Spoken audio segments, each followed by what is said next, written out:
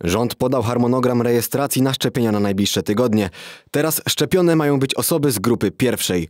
Wśród nich są pensjonariusze DPS-ów, osoby po 60 roku życia, służby mundurowe i nauczyciele. Jednak nie wszyscy otrzymają szczepionkę w tym samym czasie. W pierwszej kolejności będą to najstarsi seniorzy, czyli ci, którzy ukończyli 80 rok życia. To prawie 2 miliony osób to u nich choroba ma najbardziej dramatyczny przebieg, a niestety też najczęściej kończy się śmiercią.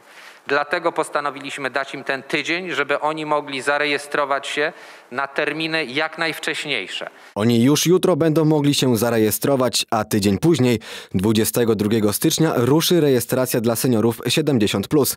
Trzy dni później mają rozpocząć się szczepienia obu tych grup. Podczas rejestracji zabezpieczona zostaje też druga dawka szczepionki dla danego pacjenta i ustalany jest termin jej przyjęcia. Jak zarejestrować się na szczepienie? Sposoby są trzy. Przez całodobową infolinię 989 może to zrobić sam senior lub bliska osoba. Potrzebny będzie numer PESEL i numer telefonu komórkowego, na który wysłany zostanie SMS z potwierdzeniem.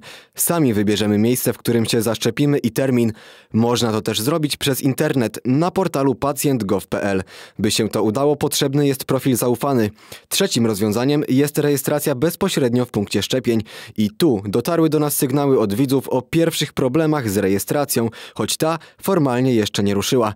Widzowie twierdzą, że listy na szczepienia w placówkach, do których dzwonili, były już pełne. Jeżeli przychodnia przejmowała mm, pacjentów na tak zwany zeszyt, czy tworzyła swoje listy, to ten pacjent nie jest jeszcze zarejestrowany formalnie w systemie. W całym kraju do programu szczepień przystąpiło prawie 6 tysięcy placówek.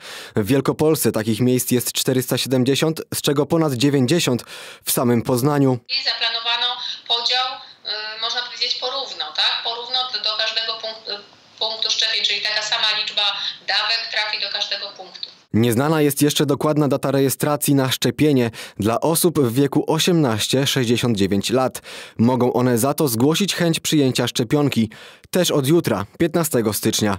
Zgłoszenie chęci zaszczepienia nie oznacza rejestracji. Jeśli to zrobią, w momencie rozpoczęcia szczepień ich grupy otrzymają powiadomienie i automatycznie zostanie wystawione e-skierowanie. To będzie taki czas dedykowany e, wyłącznie osobom, które wcześniej zgłosiły gotowość zaszczepienia się i wtedy tylko one będą miały dostęp do rejestracji. Według najnowszego sondażu IBRIS dla Rzeczpospolitej ponad połowa Polaków chce się zaszczepić na koronawirusa. W porównaniu do grudniowego sondażu to wzrost o 14 punktów procentowych. O 16 punktów procentowych zmalała za to grupa, która raczej nie przyjmie szczepionki. Teraz ta grupa wyniosła 11,8% ankietowanych. My o szczepionkę zapytaliśmy poznaniaków. Czekamy z utęsknieniem. Uważam, że nie ma innego wyjścia, natomiast no różne są opinie ludzi. Dokładną mapę z punktami, gdzie będzie można się zarejestrować i zaszczepić, znajdziemy na rządowej stronie Szczepimy się. Bartosz Bartkowiak, Puls Dnia.